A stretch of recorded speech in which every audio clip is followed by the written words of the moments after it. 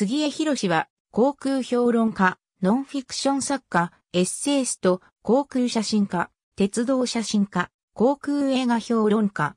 元日本航空機長で、ジャンボジェットでは、世界で最も長く乗務する記録を持つ。慶応義塾大学法学部政治学科卒業。同年日本航空に入社し DC-8、ボーイング747、エンブラ LE170 などに乗務する。首相フライトなど政府要請による特別便の経験も多い。ボーイング747の飛行時間では14,051時間を記録し、2011年にボーイング社よりそれを記念して、ジャンボ機の設計者、ジョー・サッター氏のサイン入りのモデルプレーンを贈られ、表彰を受ける。退役までの総飛行時間は2万1000時間を超える。安全推進部調査役時代には、日本航空の重要な安全運航のポリシーの立案、推進に従事し、特にスタビライズドアプローチと呼ばれる飛行方式は昨今の航空界に採用されている。退役後は東京、大阪のほぼすべての TV キー局の情報番組、及びバラエティ番組350番組に出演。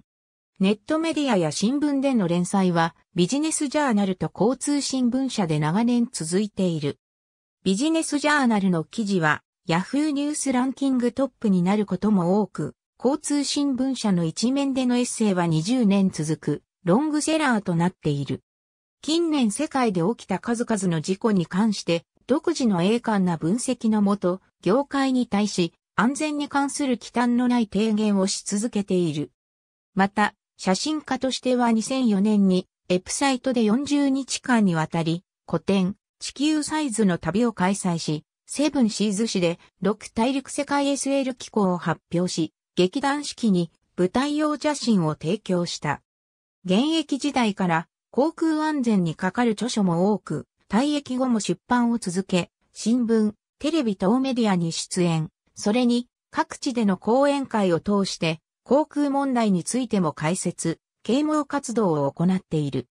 また海外での生活体験をもとに日本と外国の文化の違いを解説し、日本と日本人の将来のあるべき姿などにも一石を投じている。その他、鉄道都市を多数。ありがとうございます。